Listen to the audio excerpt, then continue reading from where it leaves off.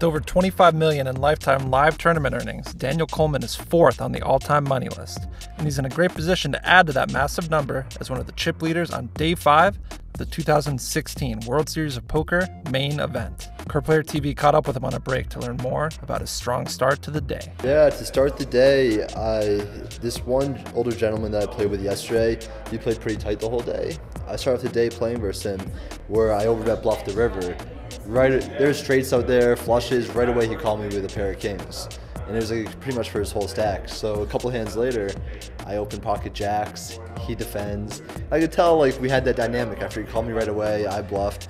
So there's some dynamic there that we're gonna be playing pots versus each other. I open pocket jacks. The flop is jack five three with two spades. I bet out. He raises me. I call. The turn's a king. He bets again. I call. River's an ace. He checks. I go all in right away. He beats me into the pot. He has king three, two pair. He had the flush on the flop too. So I took his stack there, and then from there, going up and down, but staying around 4.3, 4.4. Colman has won some huge tournaments, including the 2014 $1 million buy in Big One for One Drop.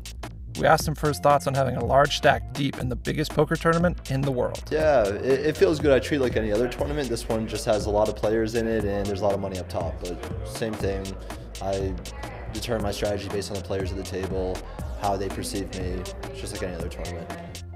You probably knew that Colman was a ninja on the felt, but did you know that he was off it as well? We asked him for a story behind this nunchuck video that he posted earlier this summer.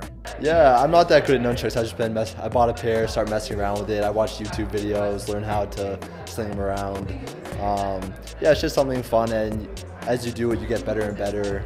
It's funny, it's actually my ADHD. Whenever I'm doing something, I have to be multitasking. So I'll be on the phone, I'll be playing around with nunchucks.